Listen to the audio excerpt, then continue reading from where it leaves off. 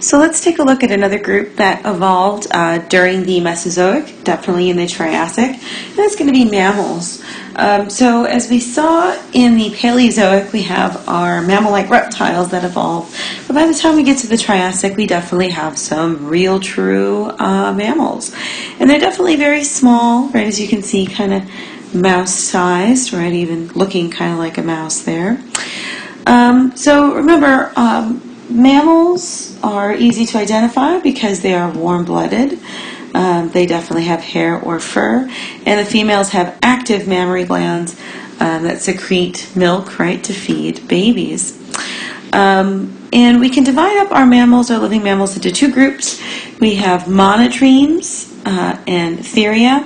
Monotremes lay eggs, right? And we'll take a look more uh, at some modern uh, monotremes when we get to the Cenozoic. Um, but modern ones, right, would be like the duck-billed platypus.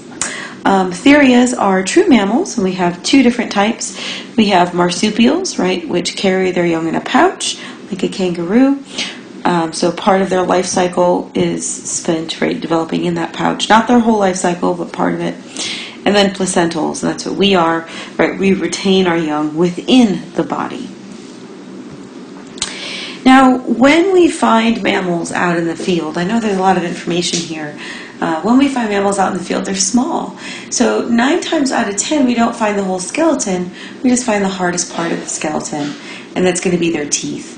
Uh, mammal teeth are quite abundant uh, in the fossil record, definitely much more so than full skeletons.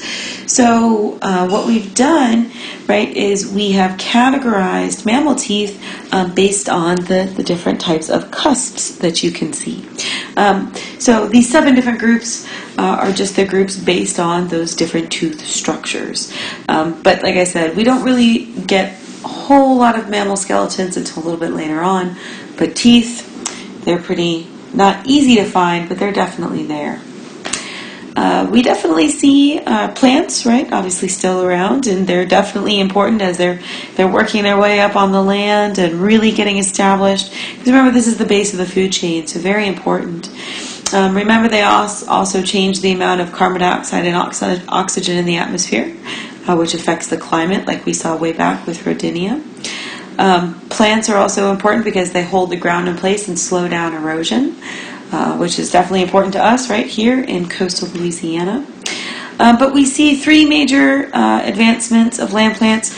As we saw in the Paleozoic, we have our seedless spore bearing plants, which come around first, then our non flowering seed plants that come around next, and then we're going to see our flowering plants uh, come around in the Mesozoic as well.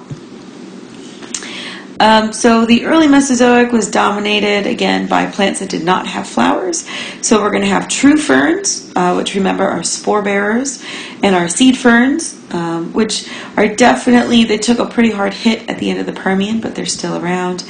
And um, our lycopods, which remember those are their scale trees, those really tall but really skinny trees.